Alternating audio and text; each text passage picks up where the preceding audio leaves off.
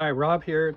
Today I'm laying some pavers to make a step and transition from one level to uh, another level beside my garage. Let me turn the camera around I'll show you. a couple years ago, we hired a paver contractor to lay pavers in our front yard. And we ended up having about 20 to 30 leftover that we had paid for. So keep that in mind. And uh, beside our concrete driveway, I laid some gray brick. Uh, we didn't want to do concrete, we wanted something we could remove because we have a French drain under it, so we didn't want anything permanent. Then I have a pressure treated transition board. And then in the next area here, I've got, uh, we got a bunch of red brick. We're gonna put down sand and red brick. This is where we keep our garbage cans and uh, recycle all that. But then back here, we transition to this gravel area that's on top of our French drain. And just FYI, I have a video about removing my uh, garage door and stuccoing. That's in another video. I'll put the link down below this one. So anyway, back to the pavers. In the transition area from the red brick, we need to step up, and it's gonna be about three brick, which is about six, seven inches, and then it will transition to the gravel level. And here's a clean out that I gotta put in for the French drain. But anyway, I'm gonna use leftover pavers, and then at Lowe's, I got this Loctite landscape construction adhesive. I'm going to use it. Just put a little between uh, each block just to hold it together. They're so heavy, really don't need it, but I figure it never hurts. And Keish, the neighbor's dog, is helping me. Barking, barking like crazy. Okay, I'm going to lay a few, then I'll show you what it looks like. The bottom row, I just laid them into a sand bed. I got them all level. And then the second row, like I said, I put some adhesive on the bottom of this block and a little bead next to the house.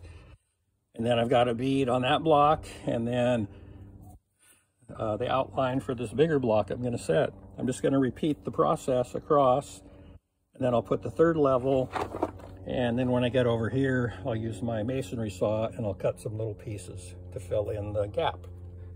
So we'll have a three block step, which is about, I don't know, seven inches, be just perfect to transition to this gravel area.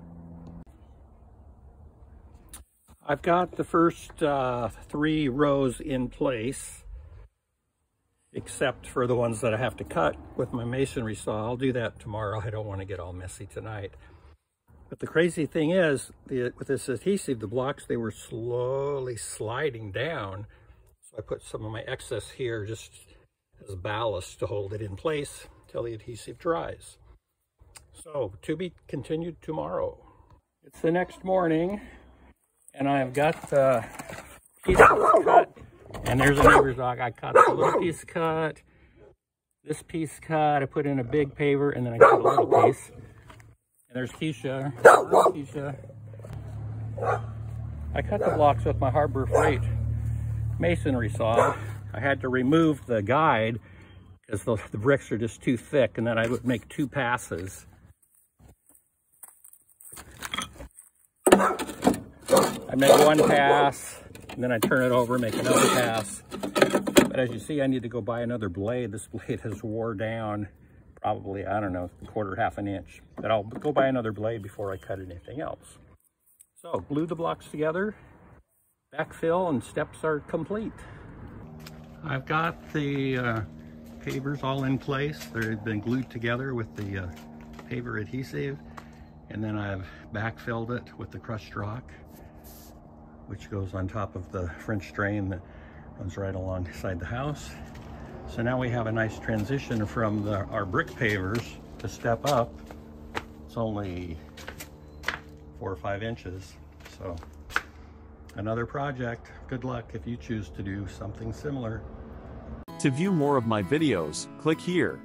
To be notified when I release a new video, click here to subscribe to my channel.